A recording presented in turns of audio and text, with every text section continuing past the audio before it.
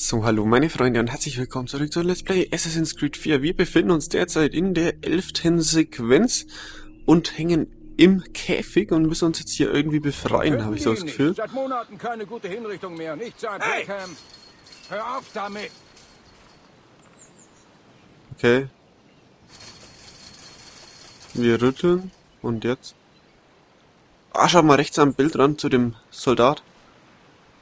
Dahinter bewegt sich irgendwas.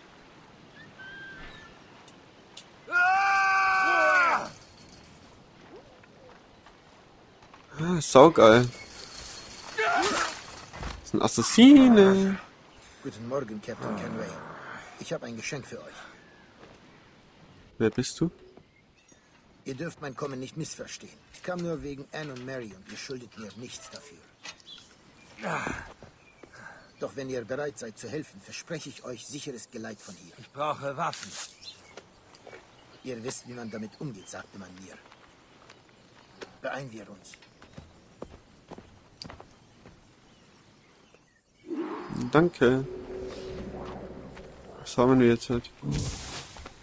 Ein Blasrohr. Freunde besuchen.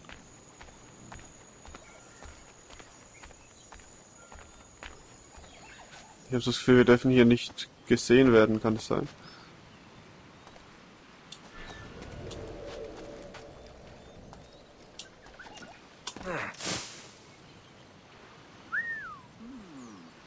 Komm, den holen wir uns.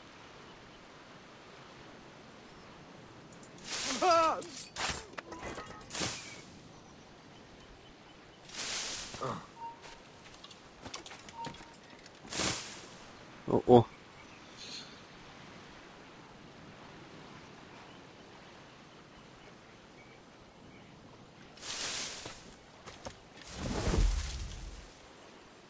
Kann ich die nicht beide?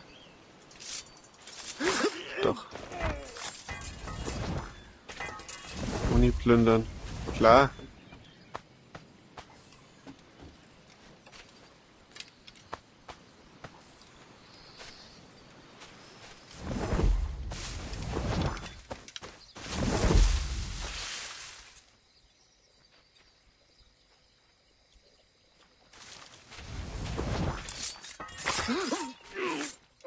Hold a moment. Any last words? Scheiße.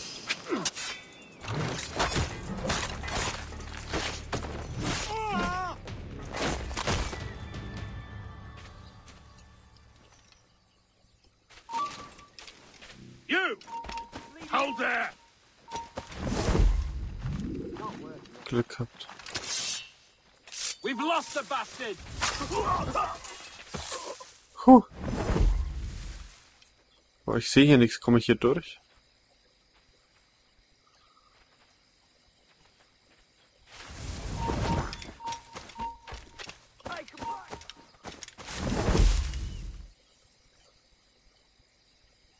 Na geil, jetzt sind natürlich hier zwei dicke.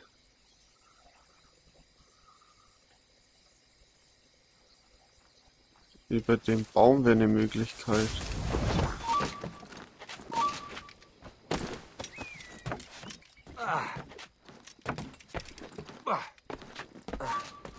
Hey, stop. hey, get out of that growth.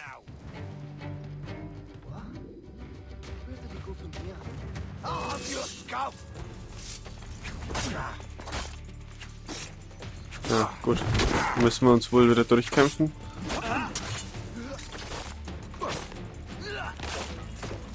Hopp.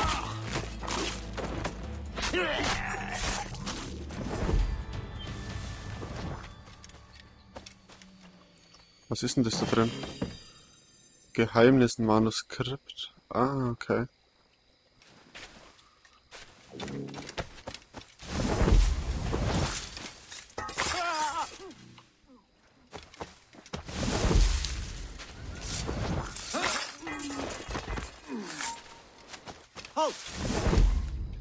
La la la. Hold that man! now you die! Oh.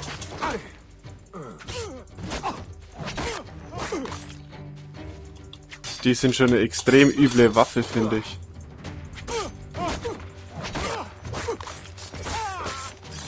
Wenn man die halt noch wirklich verbessern könnte, wäre es ja echt Hammer.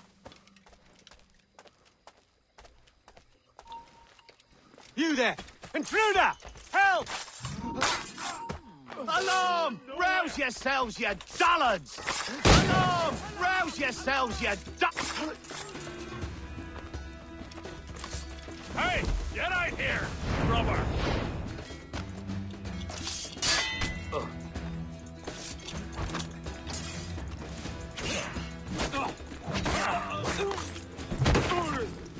Ist vorbei.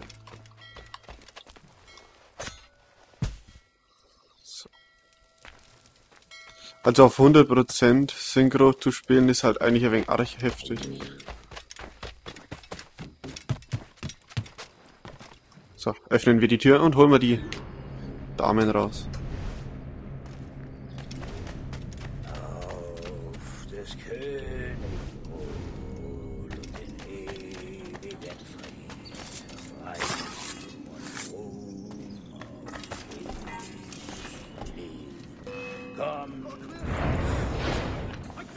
Ach, wieder keinen.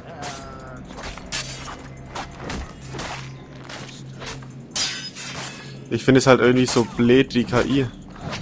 Also nicht, dass es mich stören würde, aber ihr müsst mal denken, die stehen zu dritt um mich rum und warten erst bis einer von denen stirbt.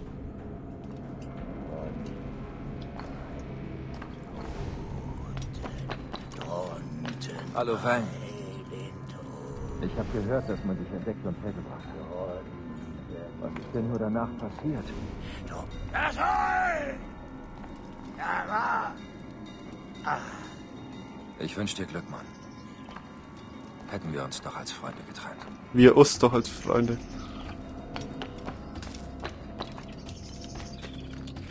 Ah, da bin ich hergekommen. Ups.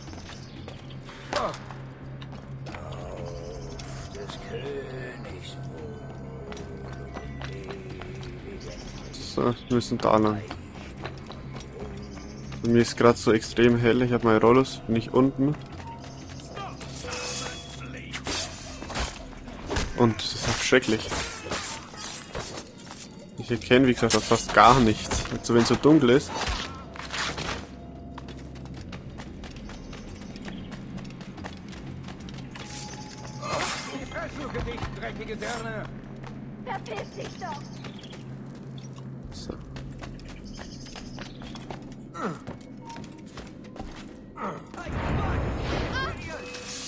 Klappt schon gar nicht.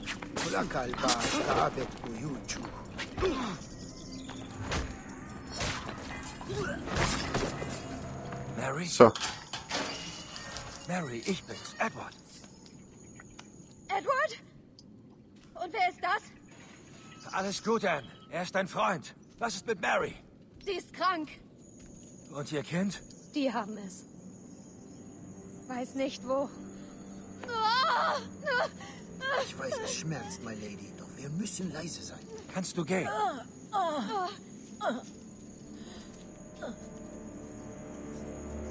Stütz dich auf, Mary. Na komm. Ich kann nicht.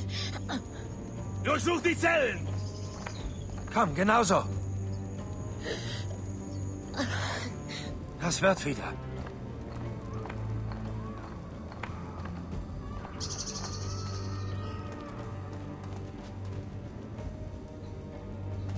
Oh, sind wir langsam. Halt nicht. Bitte. Ich lass dich nicht zurück, verdammt. Heb deinen Arm.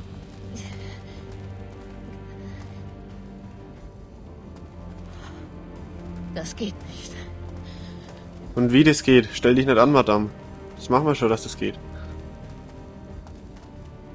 Haben schon mehr überstandene Krankheit.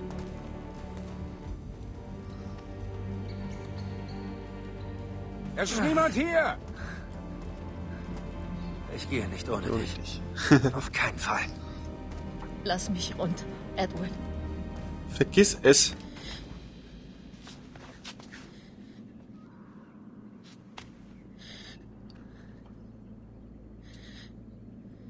Stirb doch nicht wegen mir. Geh. Das ist so eine Schweinerei. Verdammt. Du hättest die sein sollen, die mich überlebt. Mein Teil ist getan. Und deiner? Bliebst du bei mir, könnte ich es. Mary, Ich bin bei dir, Kenway. Bei dir.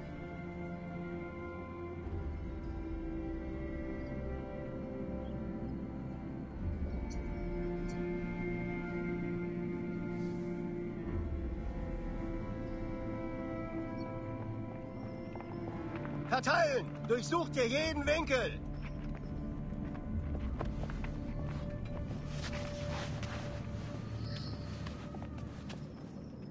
Gut, so lass die bloß nicht da. Ich hätte dich gehasst dafür. Die müssen wir unbedingt mitnehmen, die ist einfach nur krass. Die ist geil.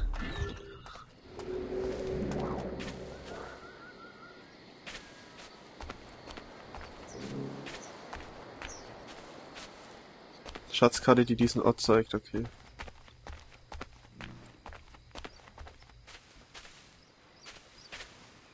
Schaffen wir, das schaffen wir.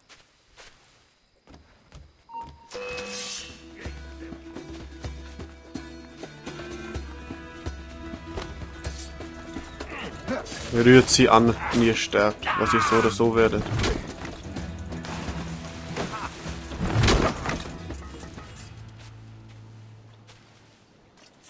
Und nicht Waffe aufheben.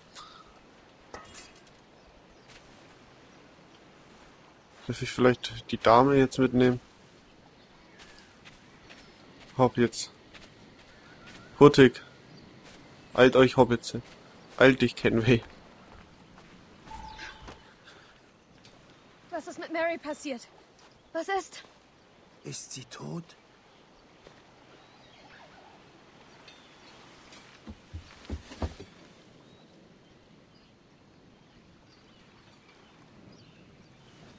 Oh nein.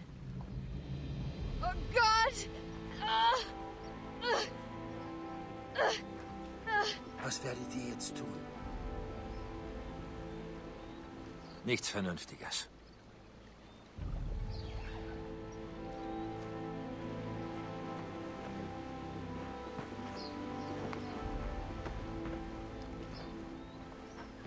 Ihr habt sie zwar nicht verdient, aber sie passen euch. Auf gutes Gelingen, Edward Kenway.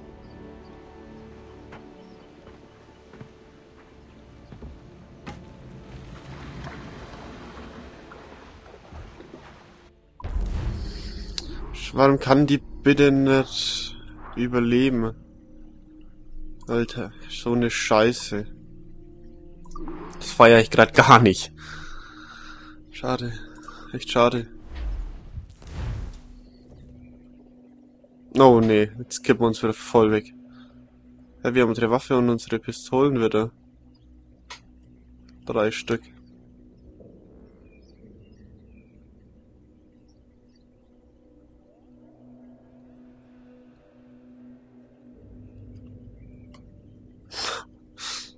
Ei. Bleib liegen, ist gescheiter.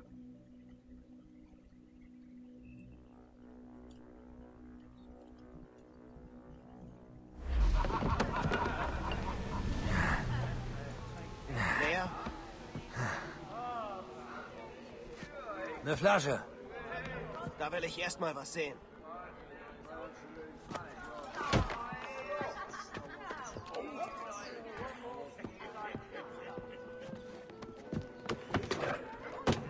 Das reichen? In all den Jahren hast du nie das erreicht, was ich in einem Fünftel der Zeit geschafft habe. Weil du ein guter Mann bist, Edward. Siehst du? Güte ist deine Krankheit. Das gehört mir, Robert. Gib es her! Kennst du noch mein Credo? Ein kurzes und fröhliches Leben, das ist alles. Die Welt schuldet uns nicht mehr als das. Also nimm dir, was du willst und stirb, bevor du miterlebst, wie man dich zum Narren macht. Gib es her. So ist recht, Junge, nimm es. Ich zertrete dich, Mare. Ich schlitz dich auf.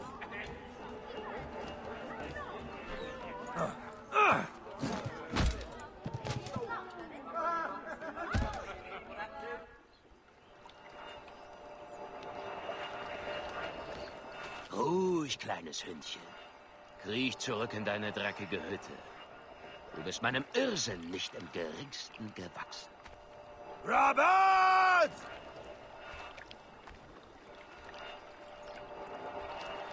Willkommen an Bord, Canway. Beute, Plünderung und Abenteuer liegen vor uns. Bist du dabei? Aus dem Weg, Ben! Heb das Glas auf die Freiheit! Auf alle Herren Glücksritter und alle Damen der Muße.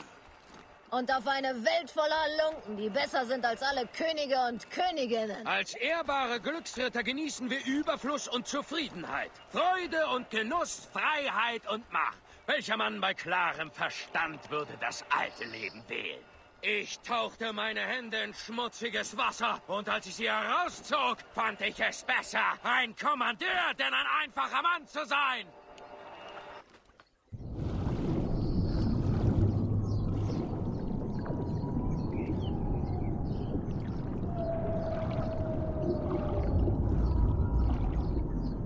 Wir schieben doch gerade voll Paranoia, oder? Das ist ja nicht mehr schön, die ganzen Haie. Was ist denn hier passiert? Da kämpfen zwei Monsterschiffe. Spanische gegen etwas anderes.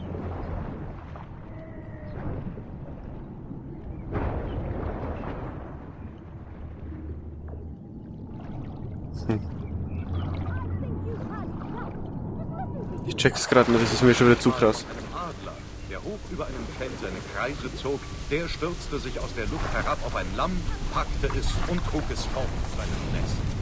Ganz in der Nähe hatte das eine Dole beobachtet und bildete sich ein, dass sie genauso stark und geschickt wäre. Also mit viel Geflatter und Federgerassel senkte sich die Dole eilig herab und griff nach dem Fell eines großen Widders. Aber als sie versuchte davonzufliegen, merkte sie, dass sie nicht groß und stark genug war, um das Tier zu heben. Und selbst als die Dole sich abmühte, bemerkte der Widder davon fast gar nichts. Ganz in der Nähe, gleich hinter dem Feld, sah der Schäfer den zappelnden Vogel und war äußerst amüsiert. Er rannte herbei, schnappte den Vogel und beschnitt ihm die Flügel. An diesem Abend gab er die Dole seinen Kindern als Geschenk. Was für ein komischer kleiner Vogelvater, lachten und riefen sie. Wie nennt man ihn? Das ist eine Dole, sagte der Vater. Aber wenn du ihn selbst machen willst, Nicht mehr als zwei Jahre. Du hast es versprochen. Du bist gegangen, als ich dich am nötigsten hatte! Aber du hattest nicht. Warum kommst du nicht zur Ruhe? Mach ich dich nicht glücklich? Ich bin so nah, Caroline! Bitte, lass mich das machen! Tust du denn alles nur aus Trotz, Edward? Es ist nicht der Trotz, der mich antreibt, Mary, sondern Mut! Zu welchem Zweck, Mann? Du hast niemanden mehr, den es kümmert. Verflucht soll ihr sein. Ich komm schon Du zurecht. Laus! Immer zerstörst du, wenn du etwas aufbauen könntest. Sogar dich selbst, wenn sonst schon nichts ist. Lass mich in Ruhe! Ändere den Kurs, Edward! Ändere deinen Kurs, bevor es zu spät ist!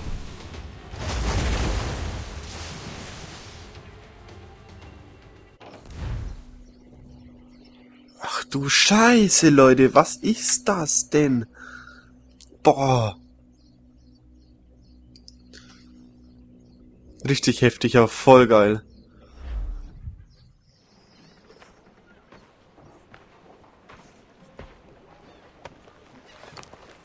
Captain Canway! Siehst aus wie ein Eimer Pflaumenmus. Gott. Ich habe einen Kater für zehn. Auf die Beine.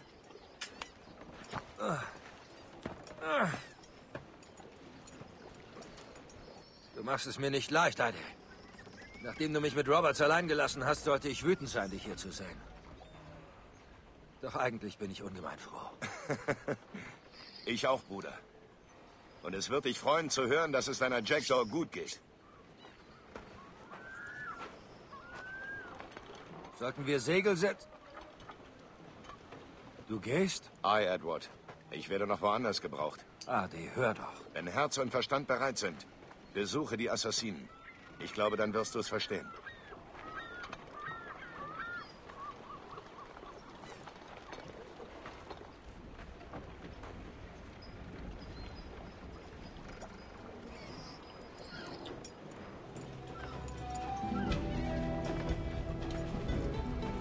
Kingston.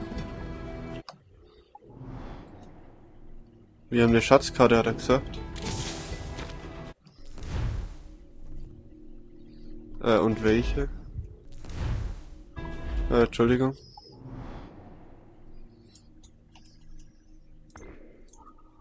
Sechs, zwei, drei, eins, siebzig, ja. Sechs, zwei, drei, eins, siebzig.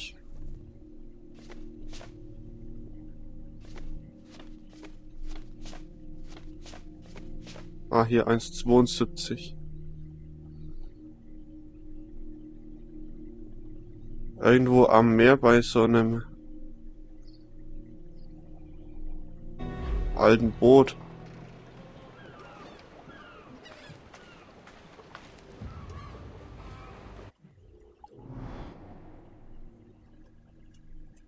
Na geil, da drüben geht's ja auch noch weiter.